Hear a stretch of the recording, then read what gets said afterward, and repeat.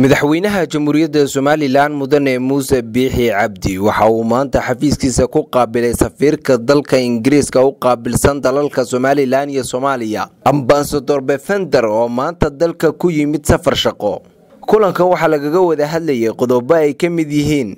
Sidii looga wada shaqayn lahaa siyaasadda guud iyo ammaanka mandaqada geeska oo ay somalilan ku leedahay door muuqda oo caalamku ku ixtiraamo. Diyaargarowga qabsoomidda arrimaha doorashooyinka wakiilada iyo golayaasha deegaanka geediga dimuqraadiyadda dardargelinta iyo koruqaadidda kaalmooyinka horumarineed ee dowladda ingiriisku ku taageerta jamhuuriyadda somalilan iyo xoojinta xidhiidhka labada dal. Waxaanu madaxweynuhu safiirka iyo wafdigiisa uu hogaaminayo warbixin mug iyo miisaan leh ka siiyey. Horumarka ay ku tallaabsadeen shacbiga iyo dowladda somalilan oo ah mid ay horeba ugu markhaati kaceen caalamku dhinaciisa waxa uu safiirku madaxweynaha ku bogaadiyey sida qiimaha leh oo uu u qaabilay iyo warbixinaha waafiga ee uu ka siiyey horumarka ay dalka iyo dad ahaanba jamhuuriyadda somalilan ku tallaabsatay.